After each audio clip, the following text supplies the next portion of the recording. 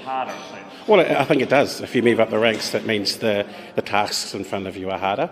Um, that's just a grind. Um, but I was willing to come back and do that for a period of time that the Prime Minister wanted me to come back. Uh, um, it has been tough. It's, this is not tiddlywinks. Um, but you make sure that you do as best as you can, and I think I've done that. Uh, and I think I'll leave it at a time when most things are as tidy as they can be. And I'm looking forward to seeing the success of the people who are taking over the portfolio. that old question. Uh, look, um, there's plenty that I'm proud of.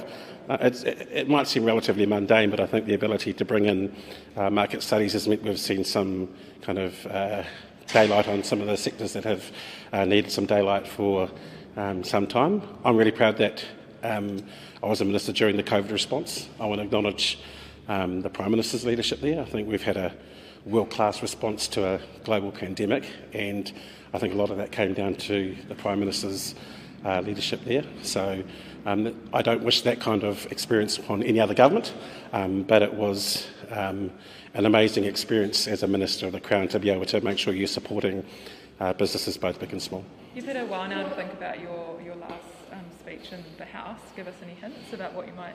I don't want everyone's surprise. There'll be no score settling. It's been an absolute pleasure.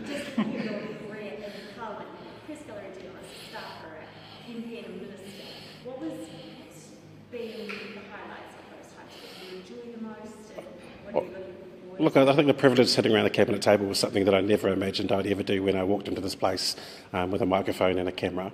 Um, but it's actually some of the things away from this place that have given me um, the most reward. Um, there are some places uh, in Porirua now uh, that were just uh, empty plots of grass for years when I was an opposition member, and now we've got people living in them. Um, so, you know, that doesn't necessarily gain much uh, attention here, but I'm really proud of the things that you can do that make like, people's lives um, different uh, and better. So those are the kinds of things I'm quite keen to remember. do you stand by the progress you made on hate speech reform? Yeah, absolutely. As, as I said, anything that uh, I've done, we stand by.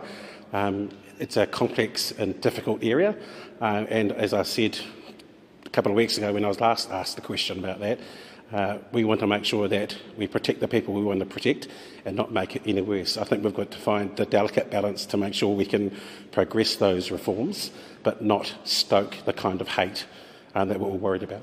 How do you feel about the future of your party and the new faces taking on new roles? Look, I'm excited for them. Uh, a lot of them are mates.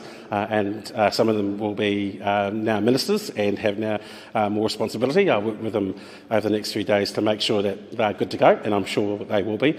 Um, I'm Labour through and through, um, so I'll be watching from the sidelines, supporting everyone here in the team and in the caucus for the next election. I'm confident in that. Okay, thanks. Cheers, folks. Cheers,